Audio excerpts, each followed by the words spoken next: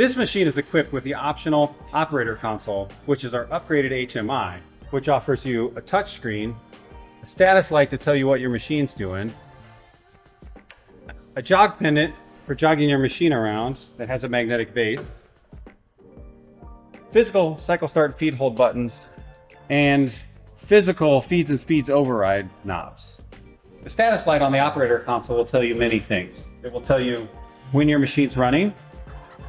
It will tell you when your machine's waiting for something. It will also tell you when it's not doing anything or if it's in a reset.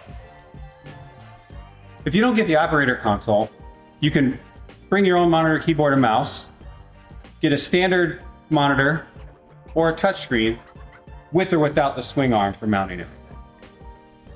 Using conversational programming, you can quickly prototype parts like this pawn, shown here in point-to-point -point straight line or radius coordinates.